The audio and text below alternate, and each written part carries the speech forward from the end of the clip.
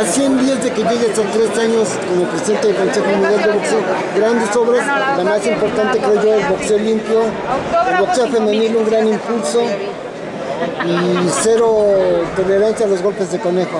Pues sí, todo es algo muy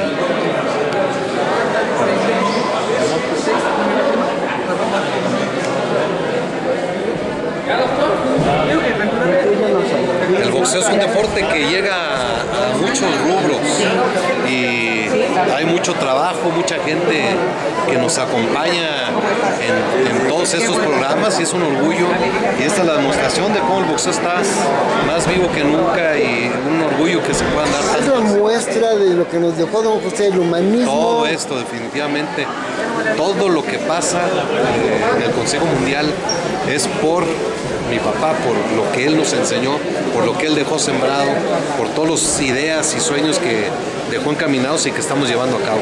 Mauricio, tres años es una gran labor ya.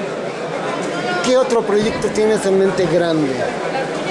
No, hay muchos.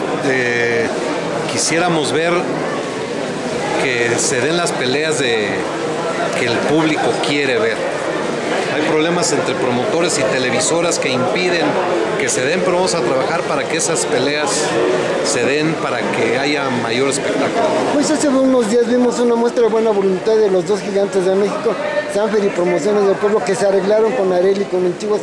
Esa buena voluntad los puede llevar también a abrir las puertas para enfrentar a sus mejores Hay que felicitarlos porque es una demostración de que las cosas con buena voluntad se hacen.